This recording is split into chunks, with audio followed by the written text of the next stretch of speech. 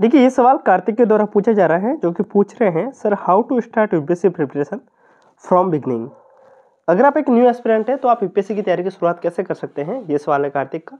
हम इस सवाल को देखते हैं, लेकिन आप साथ साथ में अपने क्वेश्चंस भी कमेंट करते जाएँगे। इस क्वेश्चंस को करने के बाद में हम आपके क्वेश्चंस को भी देखेंगे। सो इनका सवाल था कि यूपीएससी की तैयारी की शुरुआत कैसे करनी है। ये सवाल अक्सर उन सभी एस्पिरेंट के द्वारा पूछा जाता है, जो यूपीएससी के बारे में सोचते हैं, जो सोचते हैं कि उनको यूपीएससी की तैयारी करनी है। इस वीडियो के अंदर हम डिटेल में जानेंगे यूपीएससी की तैयारी को अगर आप करना चाहते हैं तो आपको किन किन बातों को ध्यान में रखना है और आप शुरुआत कैसे करेंगे। सबसे पहले हमें समझना है कि आपको किन किन गलतियों से बचना है और फिर हम समझेंगे तैयारी की शुरुआत कैसे करनी है। जैसे एक एस्पिरेंट यूपीएससी की तैयारी के बारे में सोचता है तो सबसे पहले वो यूट्यूब पे जाएगा। यूट्यूब पे जाते ही वो बहुत सारे इंटरव्यू के वीडियो देखने लग जाता है और ये सोचने लग जाता है कि जैसे ही वो इंटरव्यू में बैठेगा तो वो ऐसे जवाब देगा। इस सवाल को अगर मुझे पूछा जाता तो मैं ऐसा जवाब देता और पूरे दिन कम से कम वो सात से आठ वीडियो डेली बेसिस पे देखता है। आप मानोगे ना ये प्रोसेस कम से कम महीने महीने भर तक चलती है। मैंने बहुत सारे एस्पिरेंट से बात की और जब ये सारी कॉमन बात निकलती है, मैं उसी आधार पर आपको बता रहा हूँ। इवन मुझे जहाँ तक पता है, आप वीडियो देख रहे हैं तो आपको भी पता होगा कि आप भी ऐसी हरकत कर रहे हैं। आप पहले दिन से ही इंटरव्यू की तैयारी करने में लग जाते हैं। इवन बहुत सारे कोचिंग वाले बोलते भी हैं कि आपको फ़र्स्ट डे से ही इंटरव्यू की तैयारी करनी है, जो कि सरासर एक मूर्खता है। क्योंकि अगर आप प्री क्वालिफाई नहीं करेंगे, अगर आप मेंस नहीं लिखेंगे तो आप कैसे इंटरव्यू दे पाएँगे? और एक बात, आपकी जो पर्सनैलिटी डेवलपमेंट की बात बोलते हैं ना अगर आप प्रीलिम्स का सिलेबस पढ़ेंगे, अगर आप मेंस का सिलेबस पढ़ेंगे तो ऑटोमेटिकली आप आपकी पर्सनैलिटी धीरे धीरे ऑटोमेटिक वहीं पे बिल्ड होने लग जाती हैं। आपको पहले दिन से इंटरव्यू की तैयारी नहीं करनी है, इस गलती से आप बचिएगा। अब हम देखते हैं आपकी तैयारी को शुरुआत करनी है तो आपको कैसे करनी है, उस बात को समझते हैं। देखिए, मेरा वीडियो यूजुअली बाकी से थोड़ा सा अलग रहता है, मेरी कमेंट भी थोड़ी सी अलग रहती है। कारण ये रहता है कि मैं चीज़ों को एस्पिरेंट से सीख रहा हूँ, जो मुझे कॉमन प्रॉब्लम देखने को मिलती है, मैं उसी के आधार पर आपको जवाब दे रहा हूँ। अब मैं बात कर रहा था तैयारी की शुरुआत करनी कैसे है।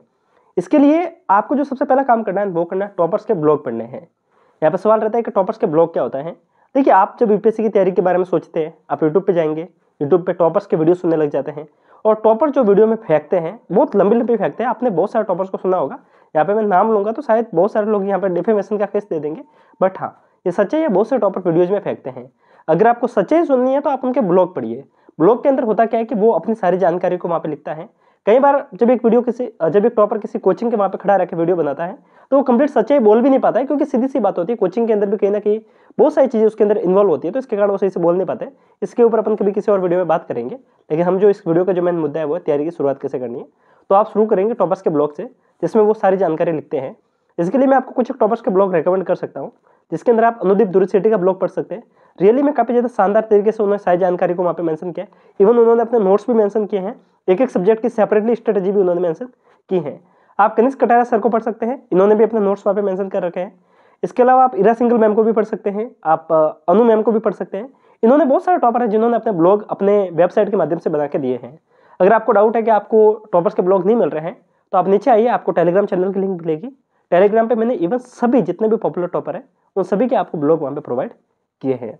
तो सबसे पहले आपको ब्लॉग पढ़ने हैं। ब्लॉग से क्या होगा कि आपको बेसिक जानकारी मिल जाएगी मोटा मोटी तौर पर तैयारी की शुरुआत कैसे करनी है किन किन बातों को ध्यान में रखना है, पेपर क्या है, पैटर्न क्या है। बहुत से एस्पिरेंट को यही नहीं पता है कि यूपीएससी के अंदर पैटर्न क्या है सिलेबस क्या है।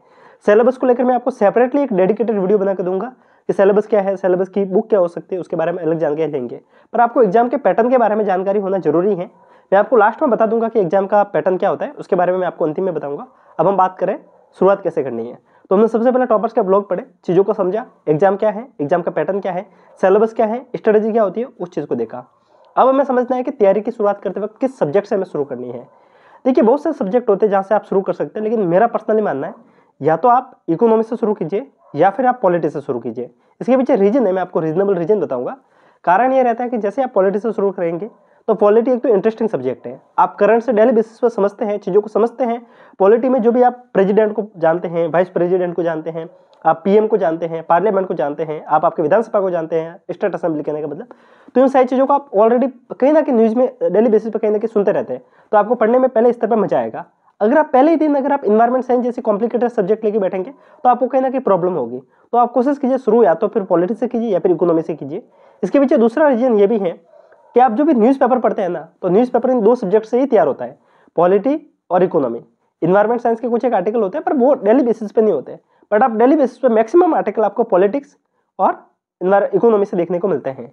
तो अगर आप इन दो सब्जेक्ट को पहले खत्म कर लेते हैं, शुरुआत के तीन या चार महीनों में इन दो सब्जेक्ट को खत्म कर लेते हैं तो आपके लिए न्यूज़पेपर पढ़ना कहीं ना कहीं सहूलियत के हिसाब से आप इसको पढ़ पाएँगे और न्यूज़ पेपर को पढ़ना थोड़ा सा आसान रहेगा। तो सब्जेक्ट जो उठानी है, वो उठानी है आपको कौन सी? पॉलिटी या फिर इकोनॉमी जो भी आपको इंटरेस्टिंग लगे, उससे आप शुरू कर सकते हैं। वैसे हम कोशिश करेंगे कि एक एक करके धीरे धीरे एक एक सब्जेक्ट की स्ट्रेटेजी के ऊपर भी वीडियो बनाएँगे। ये तो मैंने बात की स्टडी सोर्स को लेकर। पर आपको अगर पहले, अगर आपको बिल्कुल भी नॉलेज नहीं है सब्जेक्ट के बारे में तो आप शुरू कहाँ से करेंगे? एनसीआरटी से। एनसीआरटी को लेकर मैंने एक वीडियो बना के दिया था, जिसमें मैंने आपको बताया था कि 90 डे में आप एनसीआरटी कैसे पढ़ सकते हैं। पहले एक बार उस वीडियो को आप देखिएगा। सबसे पहले आपको जो पढ़ना है, वो पढ़ना है एनसीआरटी एनसीआरटी में जो सब्जेक्ट उठानी वो या तो फिर पॉलिटी उठाएँगे, या फिर आप इकोनॉमी उठाएँगे। तो आपको जो सब्जेक्ट उठानी है, वो एनसीआरटी में यहाँ से उठानी है। शुरुआत के नब्बे दिन मतलब जब आप तैयारी को शुरुआत शुरू करने वाले हैं, और आपको लगता है कि आपके पास में इनफ टाइम है, आपके पास में साल से डेढ़ साल का टाइम है तो आप ज़्यादा जल्दबाजी मत कीजिए। आप शुरुआत के नब्बे दिन, सिर्फ़ और सिर्फ़ एनसीआरटी को डेडिकेटेड होकर दिए। दिन के छः से सात घंटे एनसीआरटी पढ़िए। ढंग से पढ़िए, ठीक से उसके नोट्स बनाइए। ठीक से एक एक पैटर्न को पढ़िए एक एक लाइन को पढ़िए। कारण ये रहता है कि बहुत से लोग एनसीआरटी को अंडर एस्टिमेट करते हैं। बाद में उनको ना स्टैंडर्ड समझ में आता है और अगर स्टैंडर्ड समझ में भी आ जाता है तो वो प्रलिम्स में बैठते तो उनके बहुत सारे क्वेश्चन गलत होते हैं। लेकिन मानिए आप हर साल प्रलिम्स में करीब सात से आठ क्वेश्चन डायरेक्ट एनसीआरटी से देखने को मिलते हैं। तो इसको आप हल्के में मत लीजिए। मेंस के बहुत सारे कॉन्सेप्ट एनसीआरटी से डील होते हैं। तो एनसीआरटी को आप हल्के में मत लीजिए। तो शुरुआत के आप नब्बे दिन सिर्फ़ और सिर्फ़ दो सब्जेक्ट को देंगे एनसीआरटी प्लस न्यूज़ आपको करना क्या है? डेली बेसिस पे कुछ एक घंटे डिवाइड कर लीजिए। और कोशिश कीजिए अपने सब्जेक्ट को भी डिवाइड कीजिए कि इतने दिनों के अंदर पंद्रह से बीस दिन में मैं पॉलिटी खत्म करूँगा, अगले पंद्रह से बीस दिन में मैं इस सब्जेक्ट को खत्म करूँगा। ऐसे एक बार आप नाइन्टी डे वाला वीडियो देखेंगे तो आपको समझ में आ जाएगा मोटा मोटी तौर पर कैसे पढ़नी है। और रोज़ाना सोने से पहले आप दिन में क्या हुआ पूरे मीडिया के अंदर न्यूज़ में क्या चल रहा है मतलब करंट अफेयर्स में, उसको आप पढ़ना शुरू करेंगे। इसके लिए सोर्स होता है द हिंदू, पर मैं आपको शुरुआती नब्बे दिनों के लिए द हिंदू रिकमेंड नहीं करूँगा। इसके पीछे सबसे बड़ा कारण है कि आपको पता ही नहीं है कि द हिंदू को कैसे पढ़ना है। आपको पता ही नहीं है किस किस न्यूज़ को इंपोर्टेंस इंपोर्टेंस देनी है किस किस को नहीं देनी है। इसके लिए आप क्या करेंगे? आप यूट्यूब पे आइए, आप द हिंदू का एनालिसिस देखना शुरू कीजिए। उससे आपको क्या होगा कि द हिंदू की जो भी इंपॉर्टेंट अपडेट है, वो डेली बेसिस पे आपको रात को सोने से पहले देखने को मिल जाएगी, या फिर आप मॉर्निंग में उठते ही आप इस चीज़ को देख सकते हैं। आप शुरुआत के नब्बे दिन इस प्रैक्टिस को कीजिए। आप यूपीएससी के इस फ़ेज़ में आ रहे हैं। यकीन मानिए, नब्बे दिन तक अगर आपने द हिंदू का एनालिसिस देख लिया, क्योंकि जो भी कोचिंग वाले आपको एनालिसिस प्रोवाइड कर रहे हैं वो आपको कर क्या रहे हैं? सारा सब्जेक्ट को उसी हिसाब से साथ में स्टेटिक को भी कवर करवा रहे हैं। एक एक सब्जेक्ट को वहाँ पे डील करवा रहे हैं। तो आपको कहीं ना कहीं नब्बे दिनों में सारे सब्जेक्ट की आदत हो जाएगी। जिस इम्यूनिटी के सब्जेक्ट को आपने कभी नहीं पढ़ा है, उसके इस फ़ेज़ में आप आ जाएँगे। तो आपको नब्बे दिन शुरुआत के इसके अंदर देना है, जिसमें आप एनसीआरटी खत्म कर पाएँगे और यूपीएससी के एक मोटा मोटी तौर पर फ़ेज़ को समझ पाएँगे। फिर आप उठाएँगे स्टैंडर्ड सोर्स स्टैंडर्ड सोर्स में आप एनसीआरटी खत्म करने के बाद में पॉलिटी के लिए आप लक्ष्मीकांत उठा सकते हैं। इकोनॉमी के लिए आप किसी भी सब्जेक्ट के टीचर के नोट्स लेना चाहे तो नोट्स, या फिर रमेश सिंह, या फिर नितिन सिगानिया, किसी भी एक बुक को ले सकते हैं, संजय वर्मा को भी ले सकते हैं। बुक लिस्ट वाला वीडियो देखेंगे तो आपको उसके अंदर जानकारी देखने को मिल जाएगी। मैं सभी टॉपिक को एक साथ में मिक्स नहीं करना चाहता। हमारा जो मेन इंटेंशन है वो है तैयारी की शुरू कैसे करना है, उसके बारे में है। तो हमने बात की एनसीआरटी को पहले पढ़ना है न्यूज़ को पहले पढ़ना है टॉपर्स के ब्लॉग को पहले पढ़ना है, और देखिए अनुसार जो भी बातें होती है, उसको दूर रखना है। यूपीएससी की तैयारी करते वक्त किन किन गलतियों से बचना है, उसको ध्यान से सुनिए। यूट्यूब पे अगर आपने यूपीएससी की तैयारी के बारे में सोचा है तो व्हाट्सअप पे किसी भी टॉपर का वीडियो नहीं डालना है। किसी भी यूपीएससी के रिगार्डिंग कोई भी मोटिवेशनल वीडियोज़ व्हाट्सअप के स्टेटस पर मत डालिए इंस्टाग्राम पर मत डालिए। इससे आपको कुछ नहीं होगा, सिर्फ़ और सिर्फ़ एक पीयर प्रेशर देखने को मिल जाएगा। यकीन मानिए, जब आपके आसपास वाले लोग आपको बार बार बोलेंगे, और कलेक्टर साहब कैसे हो? और कलेक्टर साहिबा कैसी हो? लेकिन मानिए, आपके लिए शुरुआत में अच्छा लगेगा, पर एक टाइम के बाद में बहुत बड़ा प्रेशर क्रिएट करेगा। तो इन गलतियों से बचिएगा। यूपीएससी की तैयारी का मतलब ये होता है कि आप अकेले तैयारी कर रहे हैं। एक सबसे बड़ा गलती, बहुत बड़ा मित होता है ग्रुप स्टडी यूपीएससी के लिए ग्रुप स्टडी मायने रखती है। कब? जब मेंस आपका क्वालिफाई हो जाए ना, तब इंटरव्यू के लिए आपकी ग्रुप स्टडी मायने रखेगी। जब आप एक दूसरे को अपने नोट्स शेयर करेंगे, कहीं ना कहीं आप एक हेल्दी इन्वायरमेंट को तैयार करेंगे, तब आपको हेल्प होगी। परी के लिए या फिर शुरुआती स्तर पर आपको पीयर ग्रुप की कोई ज़रूरत नहीं है। उल्टा वो आपके लिए ज़्यादा डिस्ट्रक्शन का काम करेगा। तो कोशिश कीजिए इन चीज़ों से थोड़ा सा दूर रहिए। और एक बात मैं यहाँ पर जो बोल रहा हूँ, हो सकता है कि थोड़ी सी आपको ऑफेंडिव लगे, लेकिन सही बात है। कुछ एक टीचर है आजकल यूट्यूब के ऊपर, जो बखेती करते हैं। इवन वो अपने वीडियोज़ में भी बोलते हैं कि हम बखेती ज़्यादा करते हैं, पढ़ा, पढ़ाते तो बहुत टीचर है, हम बखेती करते हैं, हम बखेती के लिए जाने जाते हैं। और वो इस बात को बहुत खुलेआम बोलते हैं। कोशिश कीजिए उन टीचर से दूर रहिए। जो टीचर आपको ढंग से पढ़ाए, उससे पढ़िए। और ज़्यादा अपना टाइम वेस्ट बाकी चीज़ों में मत कीजिए। मैं आपको एक फंडा बताता हूँ यूपीएससी के अंदर। इस बात को आप ध्यान रखिएगा। जिस जगह आपको पढ़ने में हल्की सी बोरियत फील हो रही है ना तो यकीन मानिए वहाँ पे कहीं ना कहीं पढ़ने, पढ़ाने वाला टीचर आपको अच्छे फैक्ट पढ़ा रहा है। जिस लेक्चर को देखने में सिर्फ़ आपको मज़ा आ रहा है, यकीन मानिए आपको अंत में कुछ भी सीखने को नहीं मिलेगा। यूपीएससी मज़े का विषय नहीं है।